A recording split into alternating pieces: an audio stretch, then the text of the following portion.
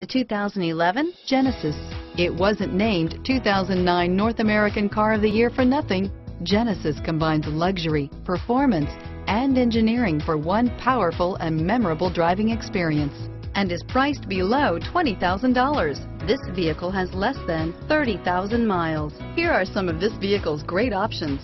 Stability control, anti-lock braking system, traction control, airbags, dual airbags, Bluetooth wireless data link for hands-free phone, air conditioning, front, power steering, alloy wheels, four-wheel disc brakes, cruise control, keyless entry, AM FM stereo radio, power door locks, trip computer, power windows, electronic stability control, MP3 playback stereo, rear window defroster, satellite radio. A vehicle like this doesn't come along every day.